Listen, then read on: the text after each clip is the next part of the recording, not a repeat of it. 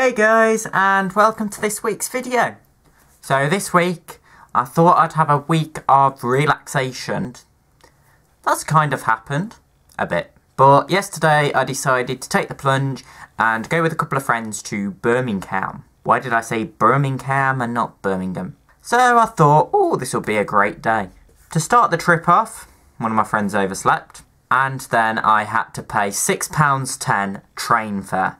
Now, that doesn't sound too bad. I normally have to pay £4 because I have a rail card, but the machine that was being a bit of a prat decided that I could either have a ticket for £6.10 or use my rail card and pay £12. I was not happy with this because I do not buy a rail card for £30 a year and expect to pay more money to use it.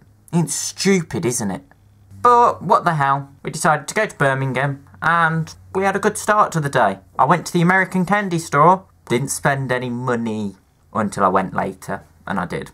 The American candy store also disappointed me because I found out that you can't get peace tea in England. I'm having withdrawal symptoms from Dunkin' Donuts as it is.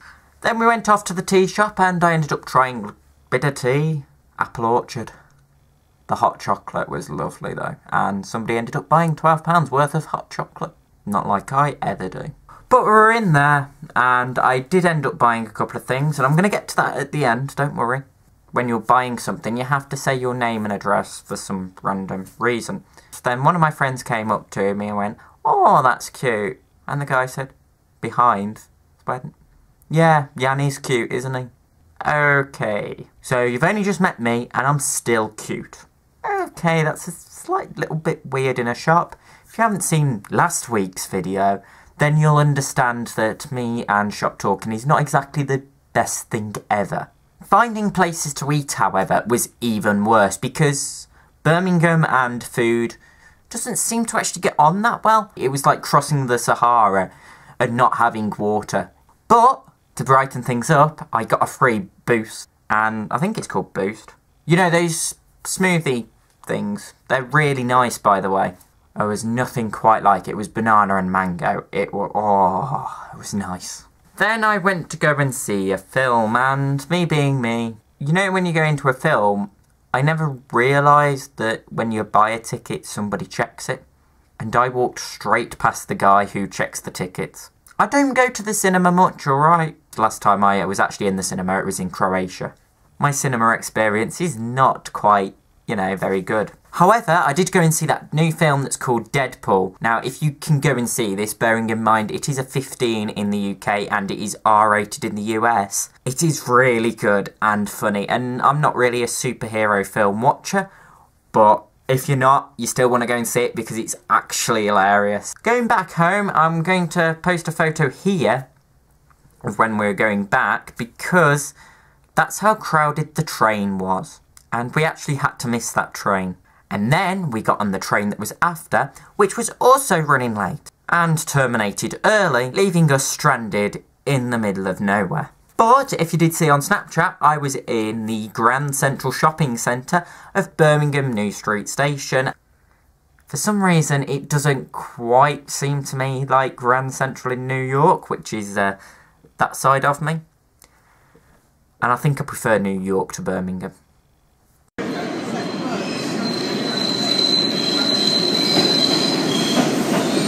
Finally got home yesterday after a long day and I was really tired and my computer wouldn't work properly and I had documents to send off. I enjoyed the day and I'd like to say thank you to the people I went out with. Yeah. Oh, and I did not actually buy any band t-shirts this time. First time ever. Or any models. It's now time for my shopping call. And first things first, Arizona iced tea to make up for the peace tea that I didn't buy.